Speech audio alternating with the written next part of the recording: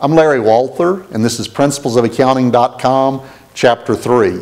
Uh, this chapter focuses on income measurement, and we'll begin our discussion in this module by considering the nature of transactions and events that trigger measurement within the accounting system. Let's begin by thinking about concepts of income. The economic concept of income is a sense of better offness or an increase in command over goods and services. This might arise from delivering goods and services to customers, but it also can arise simply from good fortune by holding the right assets at the right time as they increase in value.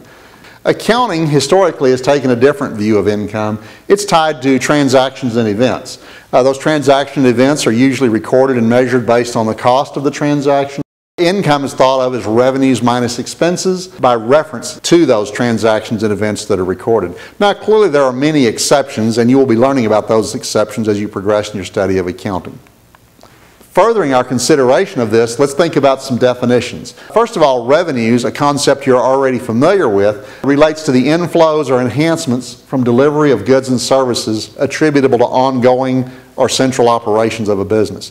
Very similar to revenues are gains. They have a similar effect on the company. It's just that gains arise from peripheral or incidental transactions and events rather than our central ongoing operations.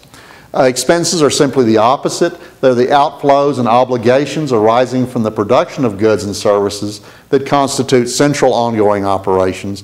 And like expenses, Losses also cause outflows or give rise to obligations, but they also are attributable to peripheral or incidental transactions or events. So expenses and losses are similar, uh, revenues and gains are similar. On balance, when we consider all of these, we see that income is the result of taking revenues minus expenses plus gains minus losses.